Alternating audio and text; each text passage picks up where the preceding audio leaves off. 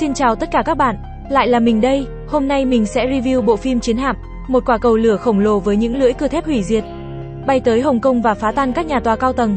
Vừa lúc nãy, bỗng nhiên NASA phát hiện có 5 vật thể bay không thể xác minh. Đang bay về hướng trái đất với tốc độ 5.000 dặm một giây. Một phi thuyền trong đường bay, trực tiếp vô tình va phải vệ tinh không gian, dẫn đến vụ nổ lệch khỏi quỹ đạo của nó, rơi vào lòng biển Thái Bình Dương sâu thẳm. Thông qua kiểm định kỹ thuật của chuyên gia tại hiện trường, Bề mặt của chiếc phi thuyền bị rơi, còn có một lượng lớn pin năng lượng mặt trời và anten truyền thông. Thông qua phán đoán sơ bộ, đây rất có thể là thiết bị liên lạc của người ngoài hành tinh. Hóa ra một tuần trước, nhà khoa học phát hiện một vệ tinh có khả năng sinh sống cao. Quân đội đặt tên cho nó là hành tinh G và cứ mỗi 24 giờ, NASA sẽ thông qua trung tâm phát tín hiệu Hawaii, gửi tín hiệu đến vệ tinh quỹ đạo sâu, sau đó thông qua vệ tinh, Tín hiệu được tăng cường nhiều lần và truyền đến hành tinh G dẫn đến sự xâm nhập bất ngờ của phi thuyền ngoài hành tinh. Quân đội Mỹ lập tức triệu tập hội nghị khẩn cấp và nhanh chóng phái một hạm đội hải quân đến hiện trường vụ việc.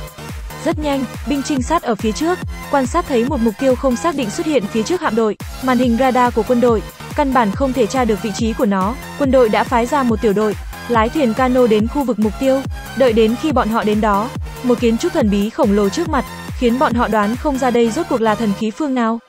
Bọn họ cố gắng liên lạc với đối phương qua bộ đàm, nhưng đối phương không hề đáp trả.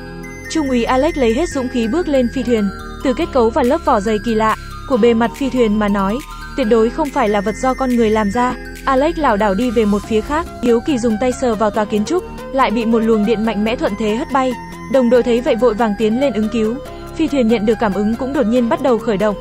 Chỉ thấy một chùm sáng siêu mạnh lập tức phóng lên bầu trời. Một lớp hàng rào trong suốt lập tức được tạo ra, nó như một lớp hàng rào bảo vệ.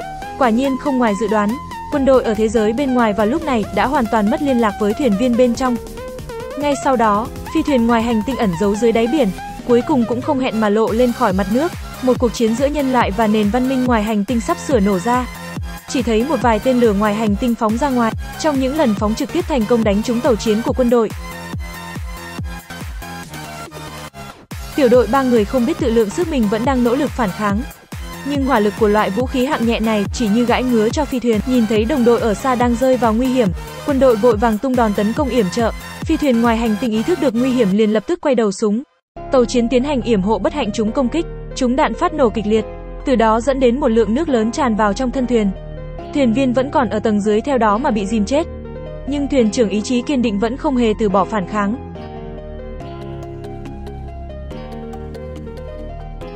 Nhưng lần tấn công này cũng đã triệt để chọc giận người ngoài hành tinh. Chỉ thấy một làn sóng tên lửa ngoài hành tinh đang lao tới. Lập tức, một con tàu trọng lượng tên trăm tấn lập tức tan răng. Cuối cùng trung úy cũng đã lên được thuyền. Khi biết được thuyền trưởng đã mất mạng, thân là người có quân hàm cao nhất ở đây, chỉ có thể vào lúc Lâm Nguy nhận mệnh thay thế vị trí của thuyền trưởng. Trong cơn tức giận, trung úy đã trực tiếp hạ lệnh tất cả tiến công. Nhìn thấy trung úy hành động lỗ mãng, một thuyền trưởng của con tàu khác Yugi dự định lập tức tiến hành phóng tên lửa yểm trợ, có hạm đội của anh ấy cũng bị hủy hoại chìm vào trong biển.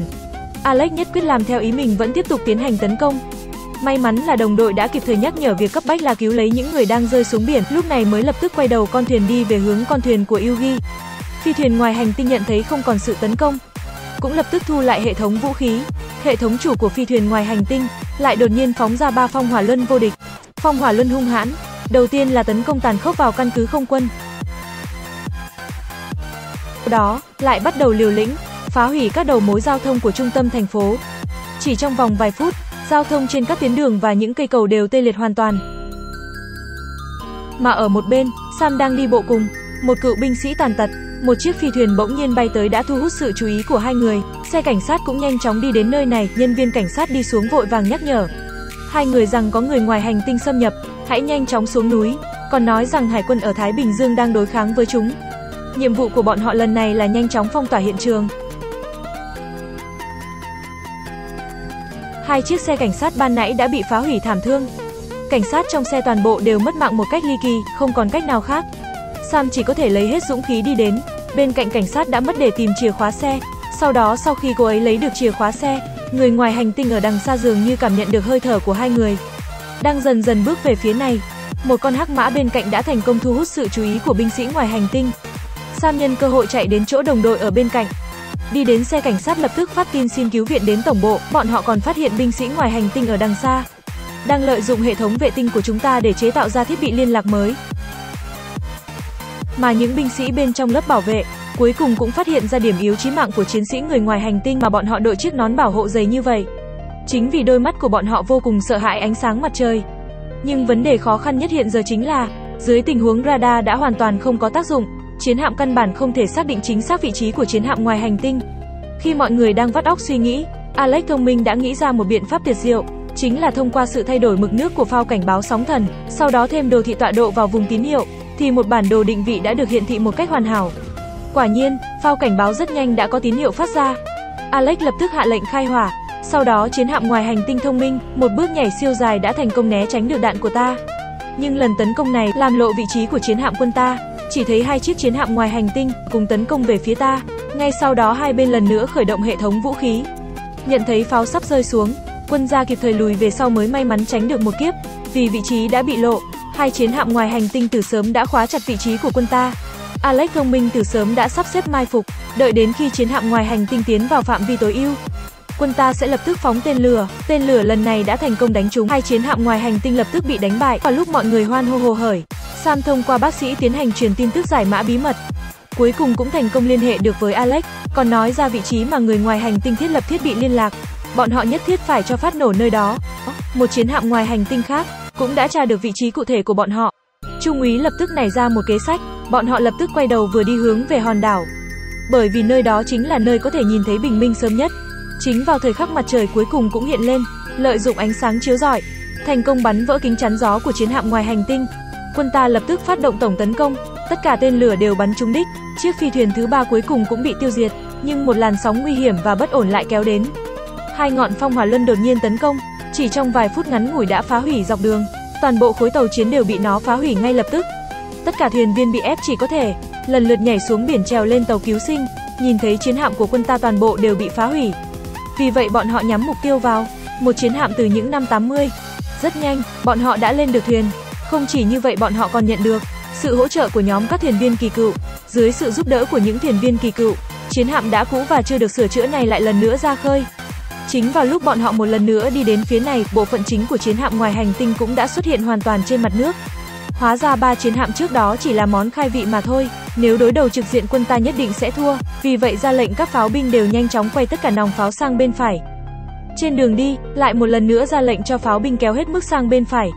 Lúc này chiến sĩ ngoài hành tinh mới phản ứng lại, tên lửa đã tiến về phía bọn họ, nhận thức được mối nguy hiểm, chiến hạm ngoài hành tinh lập tức khởi động hệ thống vũ khí. Thời khắc nguy hiểm, Alex ra lệnh lập tức ném neo cảng, một chiêu vô cùng xoái đã thành công né tránh được tên lửa của đối phương. Nhân cơ hội đó, quân ta trực tiếp phát động toàn bộ hỏa lực. Một lễ rửa tội điên cuồng của tên lửa, chiến hạm chính của người ngoài hành tinh thành công bị phá hủy. Ngay sau đó, hàng rào bảo vệ cách ly với thế giới bên ngoài cũng theo đó biến mất. Trải qua một trận chiến kịch liệt, chiến hạm của quân ta chỉ còn lại một quả tên lửa cuối cùng khi thiết bị liên lạc mà người ngoài hành tinh thiết lập. Đang chuẩn bị phát đi tín hiệu, chiến hạm ngoài hành tinh đang vật vã phát ra ba phong hỏa luân. Bọn họ chỉ có thể lựa chọn hy sinh bản thân, bắn tên lửa cuối cùng vào trạm liên lạc mà người ngoài hành tinh đã thiết lập. Vào lúc bọn họ đang thản nhiên đối diện với sự hy sinh, máy bay chiến đấu của quân đội đã đến kịp lúc để ngăn chặn sự quấy rối của Phong Hỏa Luân. Thành công cứu vãn sự phát sinh của nguy cơ này, con người nhờ vào trí tuệ và sự đoàn kết, cuối cùng cũng đã chiến thắng.